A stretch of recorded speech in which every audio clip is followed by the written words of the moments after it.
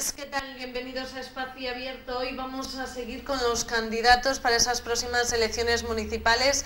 Nos desplazamos a Aspares porque queremos conocer la hoja de ruta por parte del candidato del Partido Popular. Estamos hablando de José Manuel Zendán, que tenemos aquí esta tarde. Muy buenas tardes y buenas gracias tardes. por venir. Gracias a vosotros por invitarme. Conocíamos hace nada que se va a presentar como candidato del Partido Popular con fuerzas para esta nueva etapa. Bueno, creo que sí, es una nueva ilusión que tengo y creo que, bueno, la situación generada y el desgobierno y el despilfarro y la poca atención que se tiene del Ayuntamiento de Ares, creo que me llevó a mí a dar un paso adelante y volver a, a recuperar la alcaldía de Ares. Yo tenía claro que, que, se quería presentar como candidato o fue en estos últimos momentos. Bueno, esto, esta última etapa yo ya no pensaba volver, estaba ya con una vida acomodada y tranquila, pero creo que entre la gente que me paraba me decía que esto había que darle un cambio, que había que... y fue lo que me animó a mí para, para dar un paso al frente. ¿Cómo describiría la, valor del, la labor del Partido Popular en la oposición durante estos años? Bueno, la oposición ahora mismo, pues no, en la administración local no, no vale mucho porque, bueno, se tiene mucho poder, se pide documentación, no te la, no te la, no te la permiten acceder a ella y bueno, el pataleo queda en los plenos. Eso es lo, lo que se puede hacer ahora mismo estando en la oposición. Pero bueno, hay que se sabe que cuando uno está en la oposición, pues que, que es lo que le toca. ¿Cómo valoraría la situación actual del gobierno? Bueno, yo creo que mala un ayuntamiento, una persona cuando se presenta a un cargo es para gestionar. Y si coge y hereda una situación buena y la, y la pasa a mala, pues es la gestión. Yo creo que todos los que nos presentamos, esto es igual que las sociedades, en que en todo, uno se presenta para mejorar lo que hay. Si lo vas a empeorar, pues no hay gestión. Yo creo que en dos años, los primeros dos años, endeudó el ayuntamiento. Es un ayuntamiento rescatado por el Estado, el único que hay en la comarca, y lo estamos viendo en el mantenimiento de caminos, carreteras y, y, y, y tejeas, y está todo abandonado porque como hubo que estar rescatado y hay que pagar todos los planes de obras y servicios de la Diputación, se dedican al 75%, se dedican a, a pagar facturas y gasto corriente, pues lleva que no hay mantenimiento de nada. ¿eh? Y eso es lo que estamos viviendo en Ares ahora mismo. Comentaba eso, el 75% era para pagar deudas y no pues eh, invertirlo en las necesidades que tiene Ares. ¿Qué necesidades tiene? Bueno, en principio, en principio bajar el gasto corriente, ¿no? porque aquí se, empezó a despilfarrar, a comprar inmuebles innecesarios y creo que eso es lo primero que hay que poner la casa en orden cuando se entre. ¿no? Intentar eh, reducir el, gasto corriente, eh, todos esos inmuebles pues habrá que hacer algo con ellos y, después eh, bajada de impuestos. ¿no? Creo que Ares no puede ser la cabeza, la cabeza de la provincia en todo, en todo para pagar y para recibir poco. ¿no? Somos el ayuntamiento que, que más pagamos. Ares, eh, cuando yo dejé el ayuntamiento, la presión fiscal por habitante era de 250 euros, ahora está en 650, que no es, no es poco. Y creo que eso hay que eh, conducirlo porque es lamentable que nosotros, Ares, un ayuntamiento pequeño de 5.000 y pico habitantes, esté pagando un vecino de Ares esté pagando más impuestos que paga el de Ferrol, que paga el de Coruña, que paga de Fenel, que paga de Mugardos, y eso no se puede permitir. Yo creo que eh, los políticos nos presentamos para mejorar y para darle calidad de vida a los vecinos. ¿Qué opina de los tripartitos? ¿Se pueden sacar adelante las cosas o ralentiza más las labores y la gestión? No, la gestión, en el momento que hay gobiernos de coalición, se ralentiza y no salen. Habiendo un gobierno monocolor, siempre los presupuestos en septiembre-octubre ya se presentan y tal, y a primeros de año están efectivos. Y los gobiernos de coalición, pues no, o se prorrogan o no se quitan adelante o tardan, entonces la gestión es mala porque no llegas a dar los servicios cuando los tienes que dar, ¿no? vas a rastro. Con respecto a la gestión de iniciativas que ha llevado a cabo el gobierno actual, ¿cuáles creen que han sido los principales problemas o las cosas que han hecho mal? Hombre, yo creo que el, plan general, que es importante y lo que tiene que recoger el futuro del ayuntamiento, pues que no mira los problemas reales de Ares, ¿no? como puede ser el aparcamiento, eh, como puede ser el, el tema del ¿En qué el tema del tráfico y no se, no se recoge nada de eso. ¿En qué momento se encuentra este plan general? Porque hace tiempo venía y me comentaba por las discrepancias que había por parte de, pues, sí. de la ciudadanía y de partidos. ¿Ha habido algún cambio o continúa todo igual? No, eso lo mandaron a aprobar inicialmente, se fue a, se, eh, lo mandaron para la Dirección General de, de Política Territorial, de Urbanismo, y está, y está ahí. Parece ser que tiene algún atranco en costas el Estado y queremos saber, ahora en los próximos meses sabremos, o el primer mes, el próximo mes sabremos cuáles son los inconvenientes que está poniendo Costas del plan general. Uh -huh. Yo me intuyo que alguna cosa puede, puede ser de escándalo, ¿no? Y, y vamos a esperar, vamos a esperar una, unas semanas, pero yo creo que va a ser de escándalo. ¿Cuáles son el resto de caballos de batalla que tiene Ares? Bueno, lo más importante es lo como te dije antes es el tema el tema económico, ¿no? Lo que uh -huh. lo que estamos sufriendo los aresanos. Después el, el poco mantenimiento de las de, de, las vías, de las aceras, hay denuncias todos los días de gente que cae y eso es lamentable. Desde el 2007 que no se está invirtiendo los planes al 100%, tanto de la Junta como de la Diputación, entonces se deteriora todo y eso es lo que está pasando en Ares y eso es lamentable.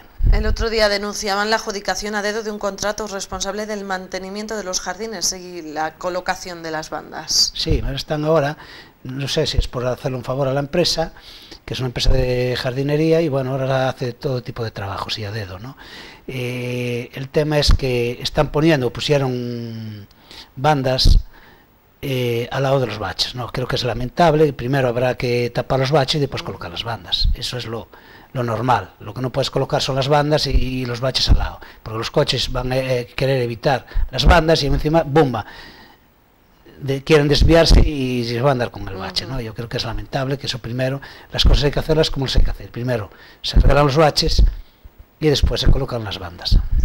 También denunciaban la existencia de un sobrecoste irregular en el servicio de ayuda en el hogar. Sí, bueno, eh, como te decía yo, con el tema de, del rescate de, por parte del Estado, uh -huh. bueno, pues hubo que subida de impuestos y aquí se subió todo, lo que te estaba diciendo anteriormente. En Ares se paga, cualquier vecino paga más por todo, ¿no? Entonces, eh, llegó, se, llega a la, se llegó a que se está haciendo negocio con los, con los servicios de Ares. Quiere decir, el tema del agua. El tema del agua se rescata el servicio del agua y que lo lleva una empresa y a día de hoy no se da el balance, lleva cuatro años, no se da el balance el ayuntamiento no puede hacer negocio con los servicios, tiene que ir a coste cero. Y si hay algún beneficio, lo tiene que repercutir en el servicio. Y no es esto. Entonces, lo que la sorpresa, que nosotros ya sabíamos que estaba pasando esto con el agua, pero lo que no sabíamos es que en servicios sociales, con la gente más vulnerable, con la gente más, más débil, pues que se ceba el señor alcalde y el gobierno, se ceba con esta gente, le estaba cobrando de más, haciendo negocio con el, con el, con el impuesto de, de ayuda a domicilio. Y es que es lamentable lamentable. Quedan seis meses para las elecciones municipales. ¿Cómo puede decir que se va a desarrollar esta etapa? ¿Qué es lo que va a llevar a cabo? ¿Qué es lo que va a hacer? Hombre, nosotros vamos a, llegar a la gente explicándole todo lo que está pasando. ¿no? La gente tiene que saber que su ayuntamiento es el, el, ayuntamiento de la provincia de La Coruña, 93 ayuntamientos que más impuestos paga y que ve cómo están las calles, y que ve cómo están los caminos, que no se desbroza nada, y que no hay atención eh, diaria por parte del alcalde a, al ayuntamiento y, y, eso hay que explicárselo a la ciudadanía para que lo vea. ¿Qué opina de la participación ciudadana? ¿Es importante? Sí, bueno, ya eh, los políticos, eh, cuando uno se presenta a un cargo público, tiene que saber escuchar y aguantar a la gente, y si no, no se puede presentar. Yo creo que la participación ciudadana, pues tiene que, sea individualmente o sea en, en reuniones, pues hay que hay que aguantarla. Uh -huh. y teniendo, hay que teniendo en cuenta estos aspectos que me comentaba, ¿cuál es su proyecto de futuro para Ares? ¿En qué se va a basar? ¿Cuáles van a ser los pilares básicos? Bueno, yo creo que lo primero, ya te dije, ¿no? Poner orden, poner orden a la casa, porque esto ya me pasó yo cuando entré en el 99 de alcalde, pasaba lo mismo, se gastaba el 28% más de lo que se ingresaba, ¿no? Y primero poner orden, controlar el gasto y después ir haciendo cosas y lo primero que hay que hacer es eso, poner orden en el gasto y todo el despilfarro que se está haciendo, bueno, pues quitarlo y después intentar bajar bajar de impuestos. ¿no? Nosotros tenemos que por lo menos que los vecinos de Ares sean igual que los de Mugardos, que sean igual que los de Neda o que sean igual que los de Ferrol. Lo que no pueden ser los primeros en pagar. y los que menos recibo, eh, que menos que menos servicios reciben, ¿no? Uh -huh. Y eso va a ser lo, lo, primero. Y después el tema del plan general, que no recoge el futuro ni resuelve los problemas eh, de Ares, ¿no? Como puede ser que te digo yo el aparcamiento, que lo llevan a la zona sur de, de Ares, cuando tiene que estar en la entrada de Ares, donde está la rotonda, ahí hay que hacer el aparcamiento, dejar los coches ahí, como pueden ser los buses, los coches, y quitar el tráfico de Ares, porque tiene un casco antiguo, las calles estrechas, y, no, y Ares tiene, es un problema fundamental, es un ayuntamiento turístico, y no, y no puede estar, es un colapso en el verano. Entonces eso hay que, y como vamos a más, porque es un ayuntamiento de los que está creciendo, pues eso hay que, es, es inmediato ya, meter la mano a eso. ¿Qué objetivos han puesto para las próximas elecciones municipales? ¿Optan por esa mayoría absoluta?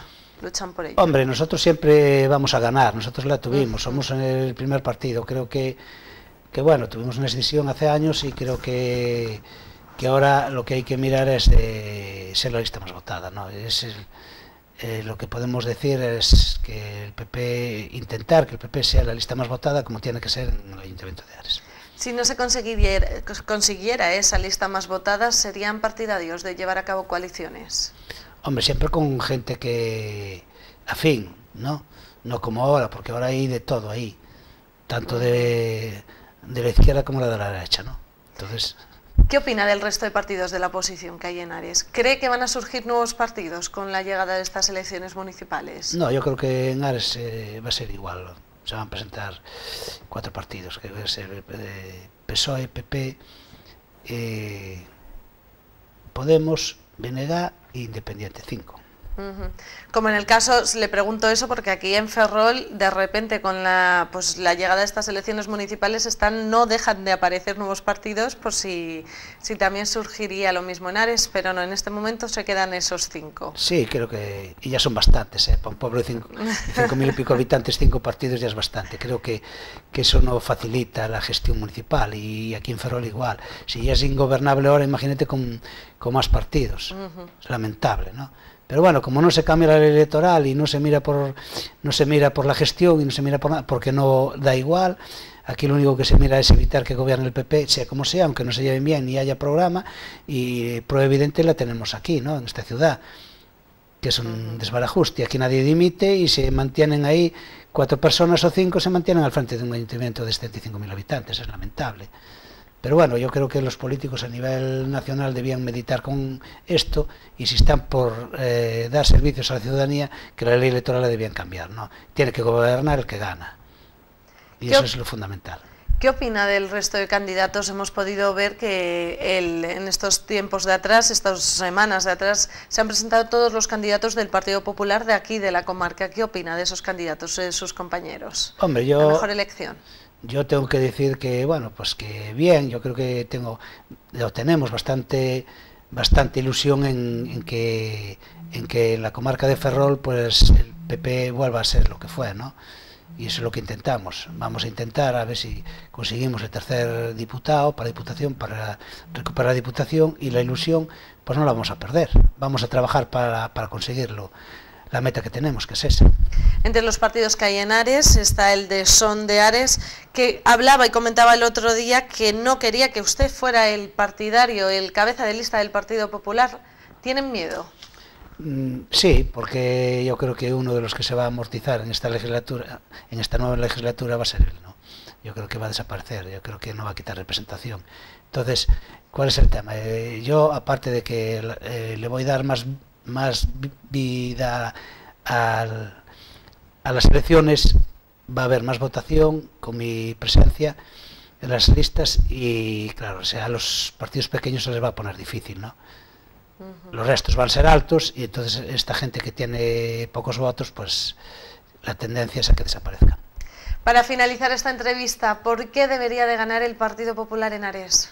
Hombre, eh, yo ya lo, lo dije ya cuando empecé mi intervención, creo que lo, lo, fundamental es que los vecinos de Ares tienen que tener mejores servicios y que tienen que tener, pagar como se paga en todos los ayuntamientos de la provincia, ¿no? Porque no podemos ser eh, los el ayuntamiento que más pagamos y que menos recibimos. ¿no? ¿Se quejan mucho los ciudadanos de estos pagos? Sí, sí, porque es que tú imagínate, ahora ya nosotros venimos de un ayuntamiento turístico que tiene mucho movimiento en el verano y pasa y pasa ya a un, a un pueblo muerto completamente y claro, es que el mes de octubre entre contribuciones, agua, tal, quedan los bolsillos pelados.